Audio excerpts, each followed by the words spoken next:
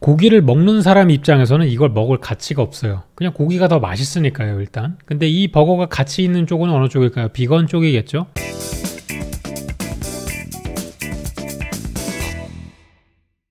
금주의 소식들 한번 정리해 보도록 할게요. 세계가 코로나 때문에 난립니다. 사람들이 많이 몰리는 곳을 못 가기 시작을 하니까 식당을 많이 안 가요. 방역 캠페인도 하고 여러 가지로 홍보를 많이 했는데 사람들은 여전히 안 간답니다. 그럴 수밖에 없을 것 같아요. 그리고 마트, 마트도 사람이 확 줄었습니다. 특정 마트, 특정 백화점 이런 데는 확진자가 왔다 갔다 했다는 이유로 닫고 있는 이런 곳들도 있죠. 근데 이런 거를 떠나서 내리막길이라는 뉴스들이 굉장히 많이 나오더라고요. 마트 같은 곳도 실적이 보시면은 계속 줄어들죠. 매출은 매출은 늘어나고 있으나 실제로 버는 돈이 없는 거예요. 여기뿐만 아니라 지난주 기사가 나왔었죠. 롯데 쇼핑이 점포 규모를 조정한다. 오프라인 사업을 축소시키겠다는 이런 의지를 표명하면서 총 718개의 매장 중에 5년 동안 200개가 넘는 매장을 접을 걸로 예상을 하고 있는데 그 중에는 백화점도 있고 마트도 상당수, 슈퍼도 상당수. 마트 같은 경우는 거의 지금 절반 정도로 줄이고요. 백화점도 5개 이상 닫으면은 일하고 있는 근로자들만 합쳐가지고 실직을 하게 되는 직원 수 숫자가 최소 8,000명 정도 이상이 잡히니까요. 이걸 어떻게 해야 될지. 롯데쇼핑은 이렇게 계속 실적이 줄어들었고 이마트 같은 경우도 매출 계속 떨어지고 이런 대형마트로 인해 가지고 고용 창출을 굉장히 많이 했다는 그런 긍정적인 지표도 있었는데 지금은 고용 창출 효과도 미미해졌다. 이런 기사들이 계속 나오고 있고 이마트 같은 경우에는 마트에서만 끝나는 게 아니죠. 폐점을 하고 있는 곳이 또 있습니다. 삐에로 쇼핑이라는 곳인데요. 이게 뭐냐면 일본에 있는 그 돈키호테라는 잡화점 비슷한 게 있어요. 놀러 가셨던 분들은 여기서 뭐 동전 파스라던가 클렌징 폼이라던가 이런 것들을 값싸게 사오시는 거의 뭐 여행 가면은 무조건 들려야 되는 그런 곳이었잖아요. 이런 곳을 이제 벤치마킹 해가지고 만든 곳이 이 삐에로 쇼핑이라는 곳인데 오픈을 했을 때만 해도 사람이 이렇게 많았습니다. 지금 보시는 매장 코엑스에 있는 매장인데 줄줄이 닫기 시작을 했어요. 어쩔 수 없는 게 들어가 보신 분들은 알지만 그다지 살 게 없어요. 제품들이 뭔가 특화가 되어 있는 것도 아니고 제품성이 좋은 것도 아니고 그냥 잡다한 거를 모아놓은 그런 정도밖에 안 돼서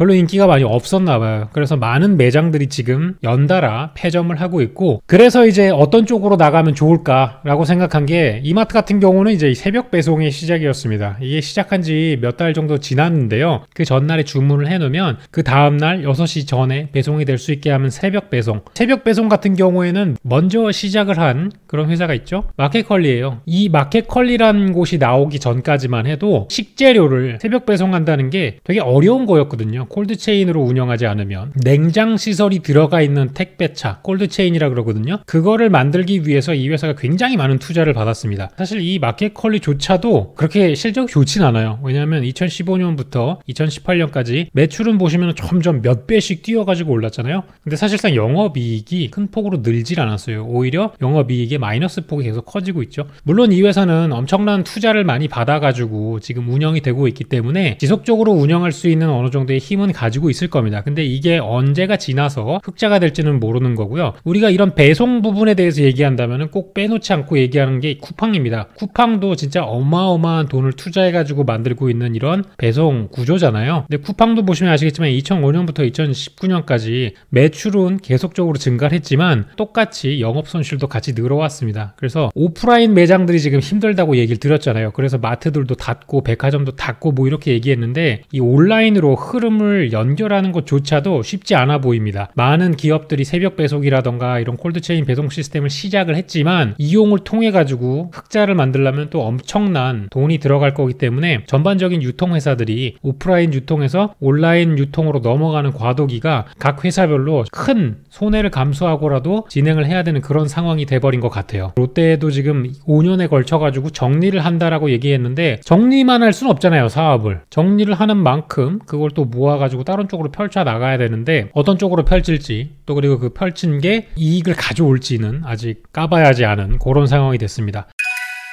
올해는 코로나뿐만 아니라 되게 여러 가지 일들이 연초에 굉장히 많이 몰려서 터져버렸어요. 좋지 않은 일들이 특히 많이 몰려가지고 터졌는데 요거는 보시면 아시겠지만 그 호주 산불이에요. 호주에서 수출을 하는 것 중에 큰 파일을 차지하고 있는 게 있는데요. 밀가루 만들 때 쓰는 식용 밀입니다. 지금 식용밀을 수출하고 있는 나라는 크게 보면 캐나다, 미국, 호주인데요. 전체에서 호주가 차지하는 파이가 44%나 됩니다. 근데 화재로 인해 가지고 저 밀들이 다 타버렸다는 거죠. 미국이나 캐나다 같은 경우도 전반적으로 밀 생산을 확 줄였다 그래요. 이게 왜 그러냐면은 한국 사람들도 요즘 쌀을 안 먹죠. 미국 사람들도 밀가루를 많이 안 먹기 시작을 했어요. 왜냐 건강적인 문제 이런 것들이 굉장히 대두가 되잖아요. 탄수화물을 많이 먹으면 안 된다. 지방보다 안 좋다 이러면서 우리도 한때 그 고지방, 저탄수화물, 저탄고지 식단이 유행한 적 있잖아요. 이게 또 이제 북미 쪽에서는 저탄고지가 엄청나게 인기가 샘솟고 있습니다. 북미 쪽에서도 이 밀가루 줄이기, 탄수화물 줄이기 이런 캠페인들이 굉장히 많이 늘어나고 밀 생산량도 줄어드는 거예요. 오히려 미국 같은 경우는 쌀을 더 많이 키우고 있다 그러더라고요. 전 세계적으로 밀 생산량이 확 줄었고 이거는 그대로 이제 빵값 상승에 올라가는 거겠죠. 빵만 밀가루를 쓰는 게 아니죠. 우리가 소모하고 있는 대부분의 음식들이 밀가루가 많이 들어가는 편입니다. 과연 어떻게 풀릴지.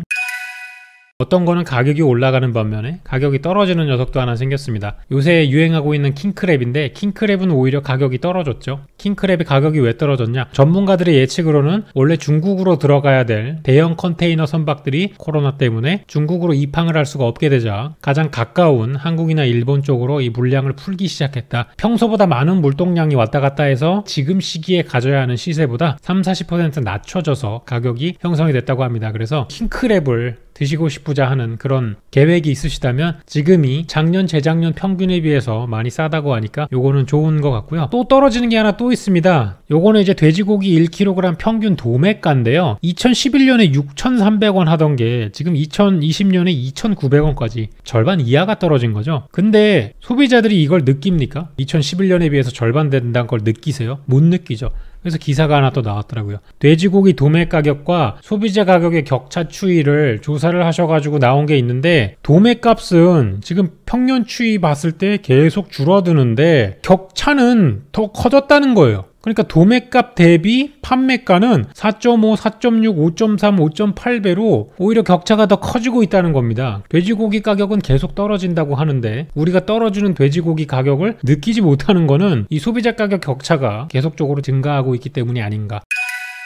기생충이 여러 영화 관련 트로피를 쓸어 담았죠. 물 들어올 때 노젓고 있는 짜파구리. 실제로 외국 사이트에서도 이 짜파구리를 후기를 올리는 글들이 많이 올라오고 있다고 하니까요. 해외에서 또 유명한 상품 중에 이게 또 뜬다 그러네요. 이거는 이제 한 호텔에서 팔기 시작한 건데 불닭볶음면 프라이라는 겁니다. 보면 이게 한국 음식이 아니에요. 여기 보시면 fire noodle fry. 그래서 불닭볶음면을 튀겨가지고 감자튀김이랑 비빔 소스를 뿌려가지고 이런 걸 만들어가지고 10달러에 판다나요. 10달러. 짜파구리 말고도 이런 핵불닭볶음면이 인기를 가져가고 있다. 가짜 고기라고 하기에는 이 산업에 투자되는 돈이 너무나 많기 때문에 좀 미안해졌어요. 대체육. 대체육 버거가 나왔습니다. 롯데리아에서 출시를 했는데 햄버거가 단품만 5,600원입니다. 대리버거가 2,000원대인 거에 비하면은 단품버거 5,600원이 결코 싼 게 아니에요. 제가 이거를 구입해가지고 먹어봤는데 고기를 먹는 사람 입장에서는 이걸 먹을 가치가 없어요. 그냥 고기가 더 맛있으니까요, 일단. 근데 이 버거가 가치 있는 쪽은 어느 쪽일까요? 비건 쪽이겠죠? 가만히 따져보면은 패스트푸드점에 입장을 하는 사람 중에 비건이 많을까요? 아니면 고기를 먹는 사람이 많을까요? 그러니까 이 버거는 아무리 인기가 있어도 터져도 지속적으로 판매가 유지되기가 어렵다고 생각을 해요. 아시겠지만 많은 패스트푸드 프랜차이즈 회사들이 안 팔리는 메뉴는 금방금방 접잖아요. 이것도 그냥 한정 메뉴로 팔고 지나가면은 과연 이 대체육이라는 게 시장에 전파되는데 영향력이 있을 것이냐. 이 메뉴가 지속적으로 계속 한 귀퉁이를 차지하고 있고 롯데리아에 가면은 vegetarian 버거가 있다라는 게 비건 입장에서는 이게 메리트가 된다. 그럼 이걸 계속 팔아야지 메리트가 되는 거잖아요. 계속 유지가 안 되면은 이 메뉴 출시의 의미가 없지 않은가라고 생각을 하거든요. 대체육 메뉴를 지속적으로 유지할 생각이 있는가 없는가는 좀 시간이 지나봐야 될 것 같습니다. 자, 예전에 제가 한번 리뷰 드렸던 것 중에 이제 오예스 big 버전이 생겼다고 얘기 드렸잖아요. 과연 이 해태 제과는 이 big 버전을 계속 만들 것인가? 빅 자유 시간이 나왔어요. 그러니까 오예스 미니, 오예스 오리지널, 오예스 빅으로 재미를 보니까 이제 자유 시간도 big이 나왔습니다. 그럼 이제 해태 음식 중에 나올 만한 이 big 시리즈가 뭐가 있을까 봤는데 과연 이게 big으로 나올지 궁금합니다. 제품 개발하는 쪽 입장에선 개꿀이다.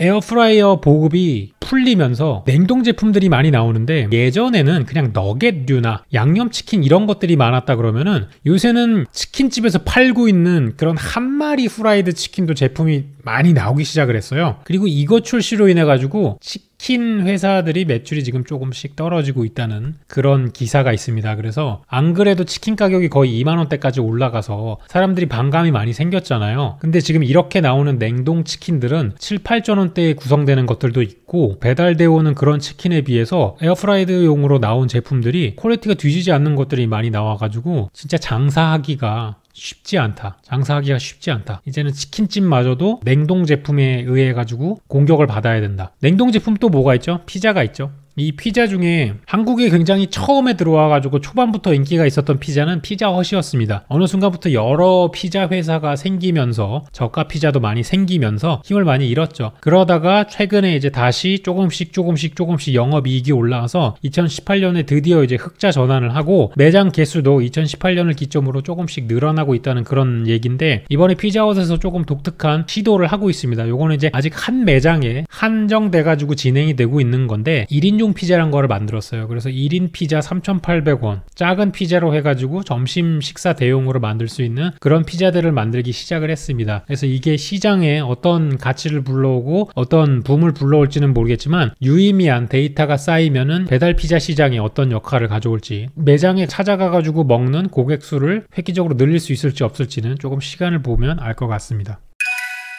양주를 아시는 분들이면 다 아실 텐데 52년산이 나와서 한국에 다섯 개만 출시를 했다고 합니다. 이 가격이 얼마인 줄 아세요? 3,500만 원입니다. 오늘도 긴 영상 시청해 주셔서 감사합니다. 저는 다음 시간에 또 다른 뉴스로 다시 찾아오도록 하겠습니다. 고맙습니다.